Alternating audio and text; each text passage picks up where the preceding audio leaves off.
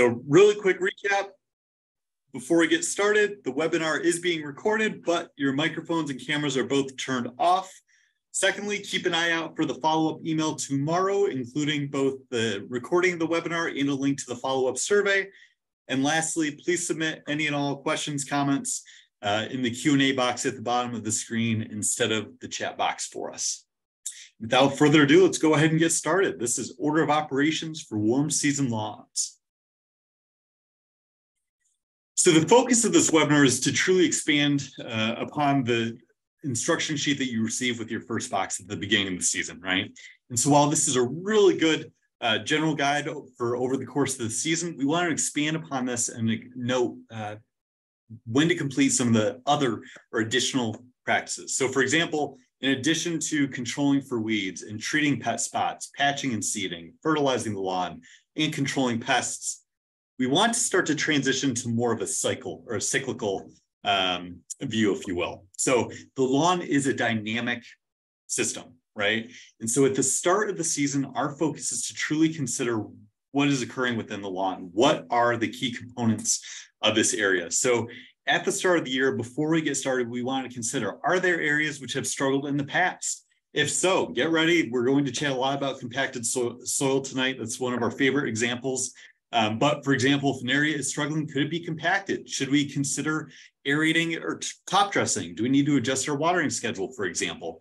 So if we better understand the different areas throughout the lawn, essentially the uh, how this is really a, living environment essentially we'll be better prepared for ch any changes which do appear over the course of the season and ensure we have the optimal path moving forward. Secondly, we'll consider controlling weeds tonight. Thirdly, repairing the lawn. Fourthly, fertilizing the lawn. And then lastly, maintaining. So this will be a, a slide where we'll chat a bit more about common changes or common um, concerns you may see over the course of the year and how best uh, to address them.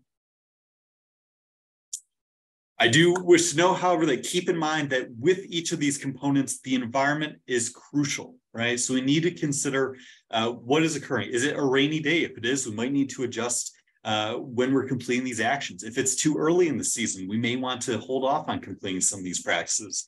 So please feel free to uh, ask any questions which do arise. For example, um, if you haven't completed anything yet, is it too early? Should you complete it, et cetera? And we're always happy uh, to ensure that we have, again, the optimal path moving forward. And considering that, we'll uh, go over to Ivana to chat about lawn preparation.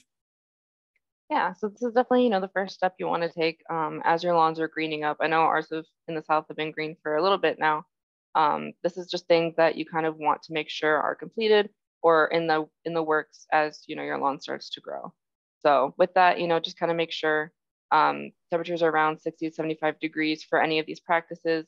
Um, and this is just looking at, you know, the health of your soil, kind of taking a comprehensive look at anything that needs to get done um, this season. So one thing you think about if you've got a Bermuda or a zoysia lawn, um, you may need to scalp it. And that would be the first mow of the season. That would be cutting it a little bit shorter um, just to remove any of the dead material um, from your dormant grass that happened over winter. So this is only for Bermuda, only for zoysia, those two grasses. Um, scalping is a great way to make your lawn look better and improve the health. Um, other grasses like St. Augustine are a little bit too thick to scalp. It'll damage the rhizomes or the stolons rather, um, the ones above the soil. Bermuda and zoysia usually have rhizomes under the soil, so you're not going to be damage anything, damaging anything by cutting them a little bit short. Um, dethatching is something you may need to consider. Uh, it's kind of the buildup of any, you know, brown or dead material from the grass. Um, about an inch of, of thatch is okay. That's something that'll just protect your soil from environmental changes, you know, temperature changes, um, and it'll just protect the grass roots. But anything over that can hinder um, fertilizer take up or water take up, it'll kind of become a barrier instead of something helpful. So you may need to dethatch, but again, an inch is totally okay. Um, another thing to think about is aerating or top dressing. So like we mentioned earlier, if you've got a compact soil, um, this can happen if you've got a heavy clay soil. This is something that'll just kind of happen with clay soils. Um, or if you've got a lawn with a lot of foot traffic, something um, where the kids, you know, play soccer a ton on your lawn, or your dogs are very large and they run on your lawn constantly. Um, this will impede water and nutrient flow to your grass roots, as well as oxygen flow, which is actually a very important thing for grass roots to, um, to use. So if you start noticing that maybe water is pooling on your lawn or it takes a lot longer you know, for anything to kind of move through the area. Um, a good thing to do would be take a screwdriver and push it into that soil. If you're met with a lot of resistance, it's probably time to aerate. Um, and using a core aerator is the best way to aerate. This will um, remove plugs of soil from the area. So a spike aerator will be something where you're pushing into the soil and that will create a compacted layer around the hole that it makes. But with a core aerator, you're removing pieces, meaning that you're not compacting anything around it, allowing for better oxygen flow and water flow. Um, core aerators most likely won't need to buy them. You can rent them at your local hardware store, but it is a good thing to do you know, if you've noticed any sort of compacting, compacting issues. Um, top dressing is another really helpful thing. I usually kind of pair them together. So after an aeration session, I like to go through and top dress. Um, top dressing with a topsoil or compost is a great way to add organic matter to your lawn, which helps nu nutrient retention and water retention. Um, it also helps the microorganisms in your soil. It helps the earthworms, anything like that. Uh, just kind of helps you create a healthier, better soil um, that helps your grass hold on to the nutrients you give it better, helps it retain moisture more easily, um, makes it to where it's not going to be as stressed if you had, you know, a newer soil. Um, along with top dressing, there's a different kind of top dress, which is kind of amending the pH of the soil. So if you've got a very acidic soil, um, this can happen if you've got, you know, a lot of, you know, pine trees or something like that. Uh, they drop a lot of leaves, making it acidic. Or if you've got a very alkaline soil, so in central Texas, we've got limestone bedrock, which just means it's going to be alkaline basically no matter what, you're going to have to amend it.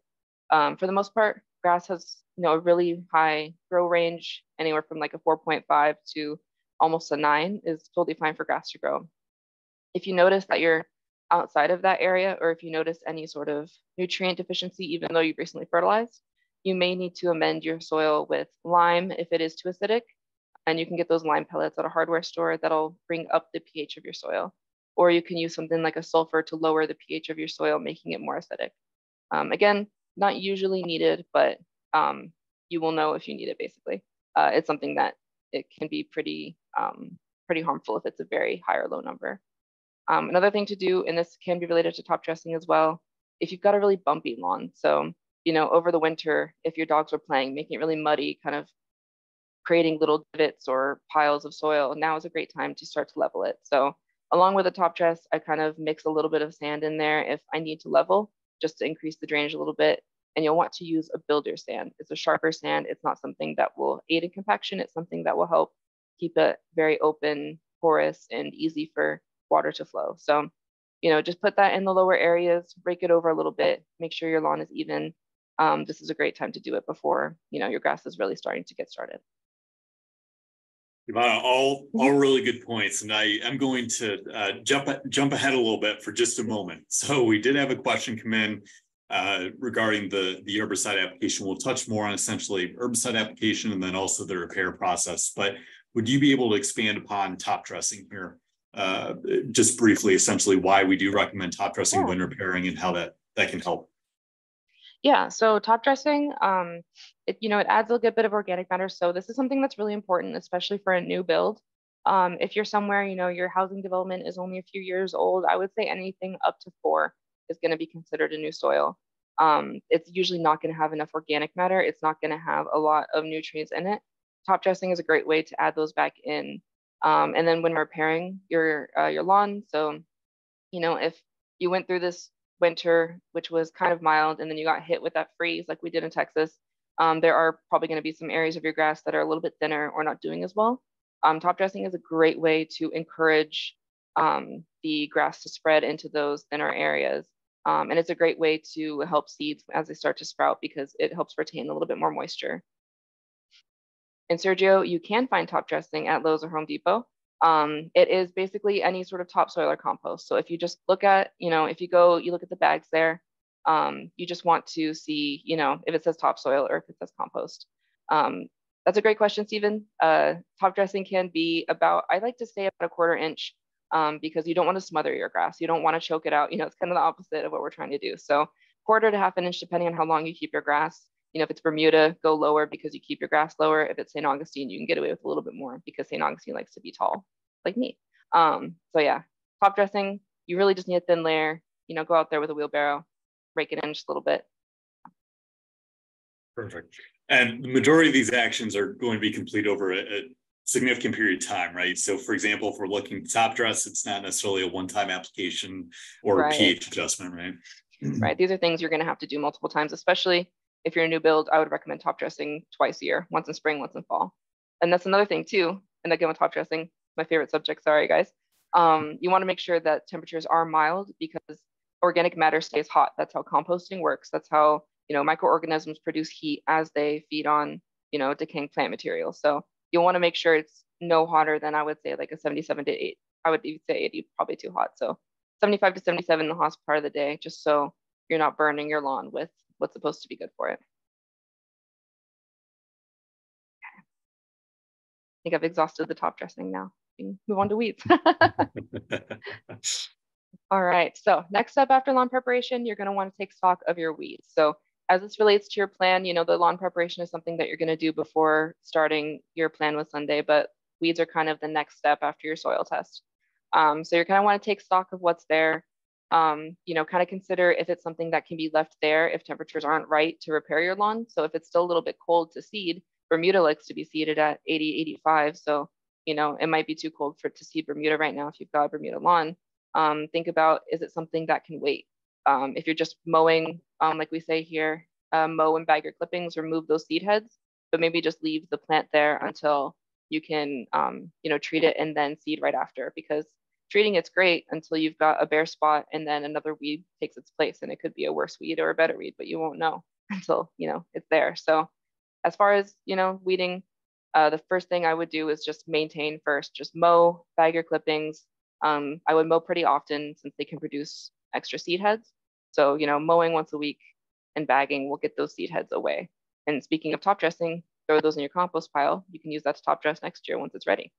Um, some weeds, you know, our hand pulling is a great option, but some weeds aren't good to hand pull. Something like a nutsedge, for example, you don't want to hand pull that because it's got these little bulbs under the soil that can um, reproduce. So once you pull it, it'll grow more. Um, for more information on specific weeds um, or specific ways to treat specific weeds, we do have a weeds webinar. There is one recorded on YouTube, but we will have one again in the future. Um, just take a look at our calendar when, when it's updated. Um, so I'm not going to get too in the weeds there. Uh, but yeah, so other weeds that you have, dandelion doom is great for broadleaf things. Uh, clover, um, it treats moss, dandelions, um, broadleaf plantain. A lot of you are probably seeing a lot of henbit, those little guys that are with the purple flowers.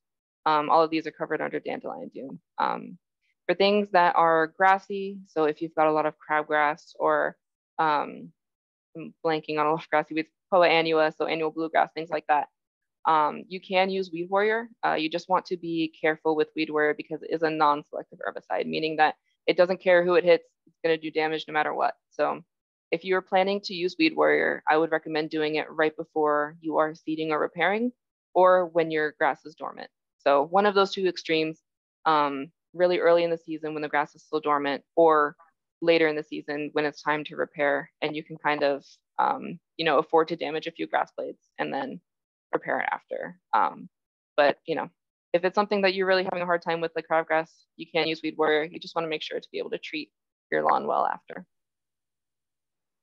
And just to expand upon all this, right? So if we're looking at a significant weed issue at the beginning of the season, or if we're at a point where it's okay, what do I do now, right? I treat for the weeds and I'm not really sure how best to proceed. Ivana, what would your recommendation be? Because there's a point where it's essentially we want to prioritize the good grass growth, right? And we don't want to be here until uh, all the way through the summer treating for weeds, right? Right. Yeah. So I would just get to a good place. So, you know, take stock of your weeds as your grass is graining up. Notice the ones that are really aggressive. Try to remove those first. Um, but if you've got something that's just kind of hanging around, you can kind of afford to leave it be. Um, it's not spreading a lot because you're mowing it and you're bagging those clippings. You know, you can go ahead and fertilize. You may see some more growth with those, but it'll be a good time after to, you know, remove them as you go on. And you'll get weeds over the course of the season. You know, you're gonna, you know, fertilize your lawn, and then a few weeks later, you're gonna start to see some other weeds pop up from the seed bank in the soil. And that's, you know, just making sure, even though you've controlled your weeds first, you're still gonna get some over the course of the season. So you can still make sure to remove those as time goes on. Um, and you all you need to do is wait 24 hours between dandelion doom and your fertilizer applications. So it can be done over the course of the season. Um, yeah. Yes, Stephen, um, that's a great question. Um, we will get to into that more, but um, short answer for now, yes. And I think we're actually moving on to that um, after weeds. So if no one has any questions about weeds, we can go straight into your questions, Stephen. All right, repair section. So this will be after, you know, you've taken stock of your soil, you've looked at what weeds you have and how you're treating them, and now you're gonna get into repairing your lawn. So you wanna make sure temperatures are right. That's gonna be kind of the biggest factor for overseeding. Um, so overseeding a Bermuda, you wanna make sure it's at least, you know, 80, 85, just to make sure that seed germinates. Uh, things like a zoysia or centipede can be a little bit lower in temperature, but you do wanna make sure it's consistently warm. Um, that's kind of the thing with, you know, the South, everything's okay with more heat. You wanna make sure you give it what it needs. Um, so as far as your question, you know, dethatching, top dressing, controlling weeds, and then overseeding. That would be the last step in all of the things that you mentioned there. Um, so once you get into, you know, making sure your temperatures are right, you're ready to seed, you're ready to sod or plug. Um, now would be also a great time to take stock of if you have pets, if there's any pet spots in their lawn. Um, if there are, um, you can use our pet patch right here. Uh, this has a surfactant. This will pull the pet waste deeper into the soil and kind of dilute it. Um, that way you don't have such a concentration of the pet waste there. So use it as a spot treatment um, on the areas that you feel are very severe. Um, or if it's something that you deal with consistently, uh, you can just use it um, as kind of a blanket application multiple times in the season if needed. Um, and with that, you just want to wait 24 hours between doing anything else. So, you know, wait a day and then you can continue on with seeding, sodding, anything like that. Um, after you've, you know, used the pet patch if needed, you go down to kind of looking at what your grass needs, where are the weak areas, um, not just the bare spots. Um, yeah, Sergio, you can use the pet patch as you see fit. So, you know, if it's something where your pet pees in a certain area and it's something that, you know, you're really struggling with, only use in that area. Or if it's something that you know your pet goes everywhere in your lawn and you can't pick out the specific spots, but you know it's harming it, use it as a blanket control. Um, either way, it's a great thing to use to pull out those contaminants. And again, just wait 24 hours between that and any of the other applications. Um, so yeah. And Yvonne, real quick, we'll chat more about this too uh, when it comes to fertilizing, but really good point to bring up also that pet patch doesn't contain any nitrogen, right? So right. we don't have to be right. as concerned um, from no fertilization perspective as well. Right. Yeah. There's no there's no fertilizer in pet patch. It's or there's no nitrogen fertilizer in pet patch. It's just there to kind of help it recover. It's not something that's going to try to make it grow. Um, all right, so grass. Uh, seeding is a great option for some grasses. Sodding is a great option for other. Bermuda does well from seed. Um, St. Augustine doesn't have viable seed, and even if you would get it to grow, it wouldn't grow true. There's a lot of good cultivars out there. Natural St. Augustine is not going to be as nice. I promise you that. So making sure you know what kind of your what kind of grass you have is an extremely important step. Um, if you have any questions about that, reach out to us at webinars at Get Sunday. Send us a picture. You can even text us um, just to make sure you know what kind of grass you have um, and to make sure it's a great fit for your lawn. You know, if you have a new build and the builder put Bermuda down, but you also installed some beautiful oak trees that are going to get to 25 feet, you know, maybe trying to start transitioning from a Bermuda to something that's going to tolerate a little bit more shade. Um, so as you're looking to seed or sod, go ahead and remove any dead material or leaves, any debris um, covering the soil. And then you're going to want to rough it up just a little bit. Um, and then, of course, my favorite thing, add a little bit of topsoil there. It's going to help no matter what. Uh, it'll help the seeds, it'll help the solder plugs either way. Um, and if you're noticing some smaller bare spots and you've got a grass like San Augustine or zoysia, something like that, that you don't necessarily feel like seeding, uh, if you've just top dress that area and move some of those long viney bits, those stolons into that area, um, they will grow in and they will repair themselves. Now San Augustine is starting to explode. So now is a great time to start top dressing small areas of your lawn and letting it kind of fill in before looking at trying to add anything to it.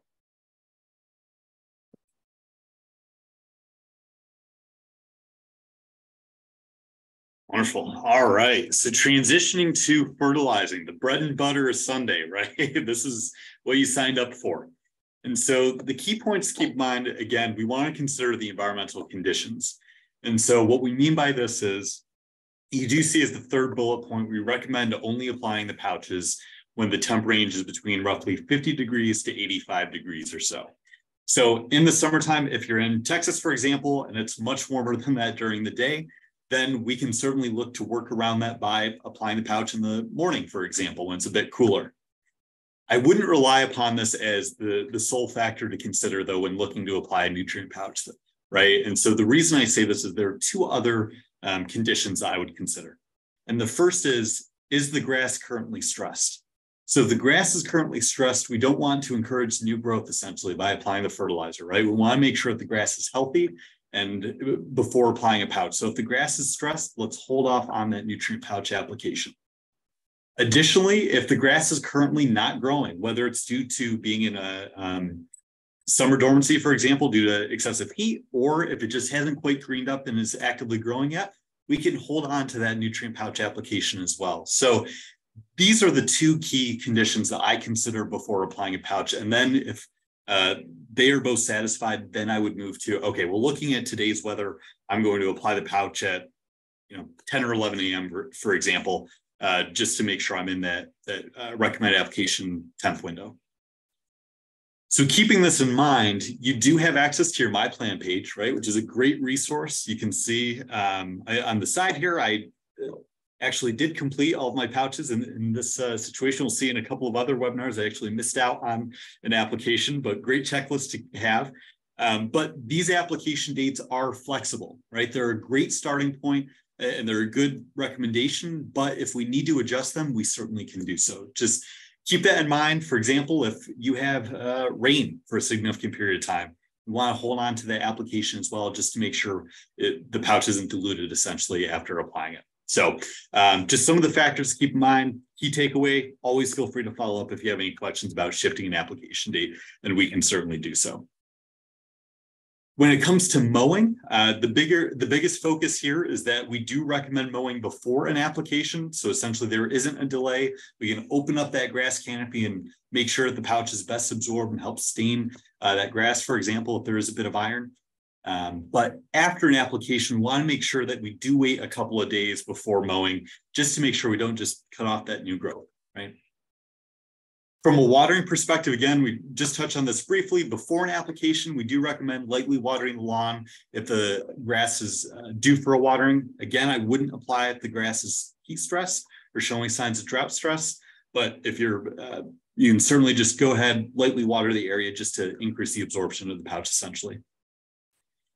After an application, however, it's also imperative to consider that we want to make sure there isn't rain in the forecast for at least 24 hours or so. Um, so same thing for your watering schedule, try to hold off on watering for at least 24 hours just to make sure we aren't just washing that pouch away.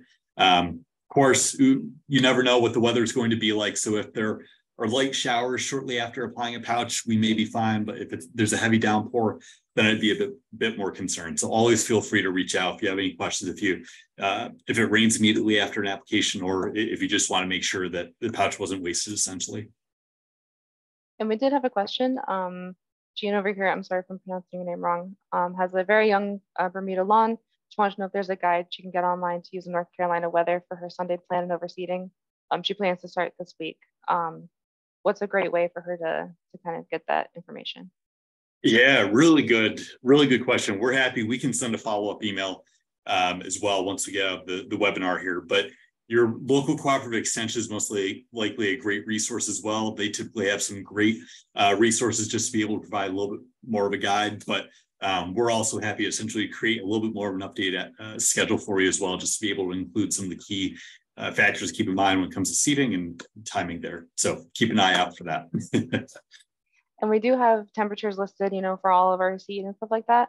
Um, but again, we'll reach out to you after this webinar. I'll, I'll send you an email kind of going over your schedule, but for the most part, it's not going to be, you know, set in stone. It's always going to be variable based on temperature. So it's a little hard to, to keep track of, but we'll make sure to, to show you that.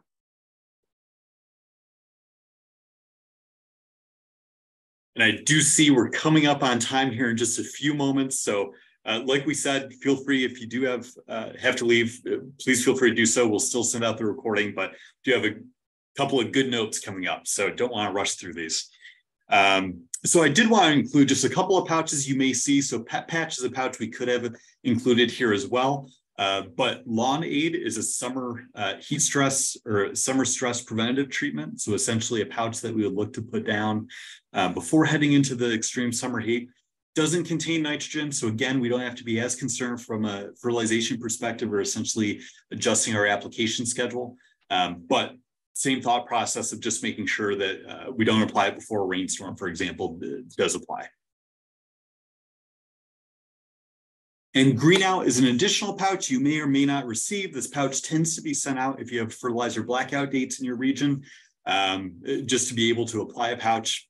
Does not violate the blackout uh, restrictions though, so it doesn't contain any nitrogen, phosphorus, but uh, is essentially best able to help improve the soil, if you will. So again, you'll be receiving the best pouches for your region. So if you do live in, in an area with blackout dates and you don't receive green out, this doesn't mean that uh, you didn't receive the correct pouch. Just taking a look at the total nitrogen load over the course of the year, making sure we essentially reach that desired load. We may or may have a bit more flexibility or might be able to adjust your plan slightly.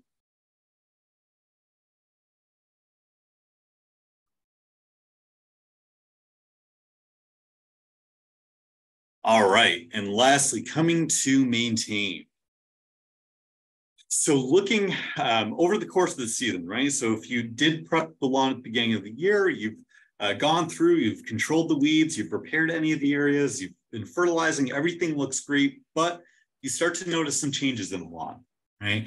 And so this is where I would always ask, what has been what has been occurring from an environmental perspective, right? And this is why it's so crucial uh, to consider this. So, for example, if you start to notice lawns start to brown, have you noticed that the temps have uh, been extreme for the past few weeks, right? Have you gone from 70 degree weather up to 90 degree uh, weather?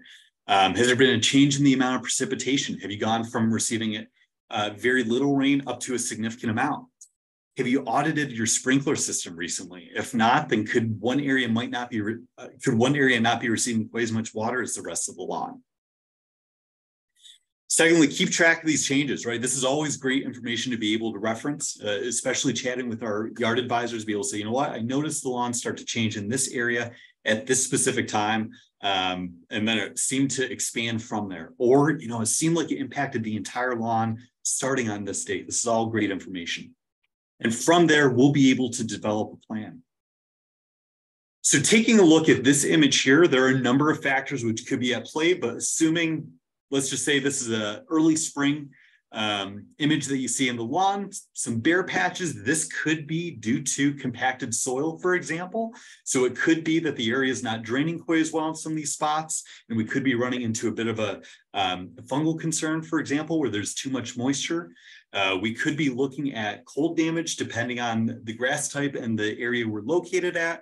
Um, we could be looking at potentially mowing at a little bit lower of a height or essentially an uneven lawn in this spot. So the key focus here would not be, would be that it isn't necessarily a fertilizer solution, right? We might be looking to essentially, if it's more of a fungal concern, minimizing the amount of excess moisture in the area, and that should improve uh, the area.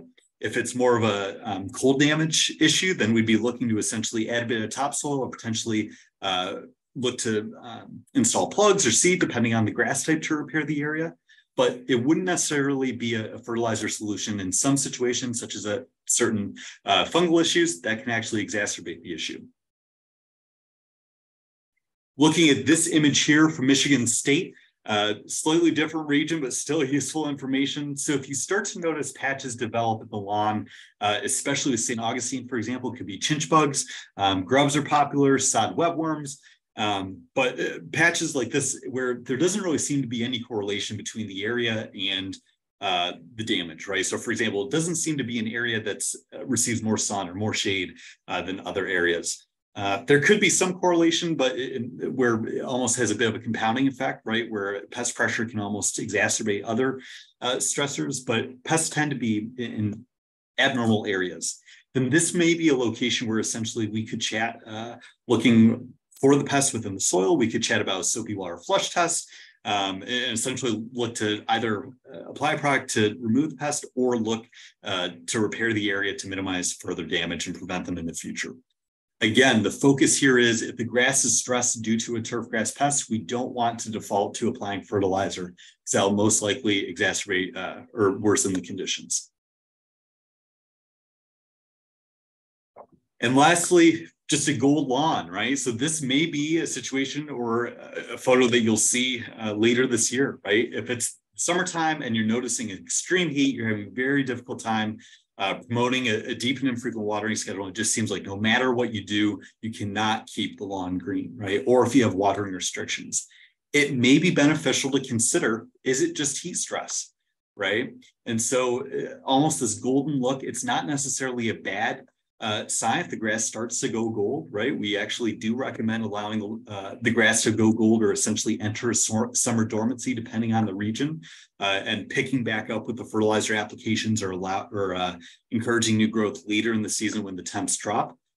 In a situation like this, we wouldn't necessarily encourage to bring the grass out the, the summer dormancy, right? Dormancy is more protection uh, mechanism, right? So if we're unable to maintain that green grass, it may be beneficial to allow it to enter that dormancy for a few weeks. Again, we would not want to default to a fertilizer application in this case and encourage the grass to exit this dormancy. So the reason that we wanted to touch on this, we could spend an entire webinar most likely on each uh, of these factors, but I want to make sure that one of the most common questions we receive is, well, my lawn is starting to yellow, should I apply fertilizer, right? And while that can help in some situations. In most situations, that can actually exacerbate the issue, right? And if we actually understand what is occurring within the area or have a better understanding because we prepped uh, the area at the beginning of the year, we'll be best able to identify a solution and make sure we minimize the amount of time looking to determine what's occurring in, in the area and determine a solution. So as a brief recap is a potentially a bit of a simplified explanation. If the grass seems to have weak roots, so for example, if you lift on the grass and it doesn't seem to be well rooted, could be a turf grass pest. Uh, if the grass almost is spongy or discolored, it could be a, a fungus. And if it has almost a dry or blue-gray hue, then it could be heat or drought stress, right? Essentially signs that the grass needs to be watered. So please feel free if you do notice uh, any changes over the course of the year, always feel free to reach out to our team at webinars at getsunday.com. Um, send in pictures and we can chat about, about the change. But key takeaway, don't default to uh, fertilizers being the, the end all be all, right? Or the only solution to make your grass green again. And with that, I realize we are way over. so I truly appreciate uh, you all being here uh, tonight. Are there any other questions before we uh, get to the final slide? Wonderful. Well, we truly appreciate you all being here tonight. Great participation. It was great to be able, uh, great questions and be able to interact with you all. Um, if any questions do pop up, feel free to email us at webinars at getsunday.com. Keep in mind that our blog, The Shed, is a great resource providing um, how-to articles such as how to test for compaction, how to audit your sprinkler system. It's a great resource. Our YouTube channel is an additional resource uh, providing product overviews, uh, instructional videos, chats with our very own Dr. Frank Rossi from my alma mater, uh, chatting about common lawn questions. Um, and keep an eye out for future webinars as well. We'll be continuing this into over the next couple of months and we'd be thrilled uh, to chat with you again. So Keep an eye out for the follow-up survey dealing with weeds, warm season lawn. Ivana, anything I missed? Only thing I want to point out is I know a few people had some weed questions. Um, I'm kind of blanking on when our next weeds webinar is, but we do have the previous recordings on that calendar. So, you know, anytime you look at the webinar calendar, if there's something that's happened previously, if you click on that one, it will direct you to the YouTube link of that previous webinar. So, you know, watch those. If you have any questions about them, you know, feel free to email us at webinars at Get Sunday. It's most likely going to be the people that are posting that webinar. So we'll be able to know exactly what you're what you're referencing. So, you know, keep in mind we're here as a resource. We're here to help. We just want you to have a better lawn. And that's it. Take care, y'all. Have a great day. Have a good night. Take care, everyone. Oh, night. Yeah.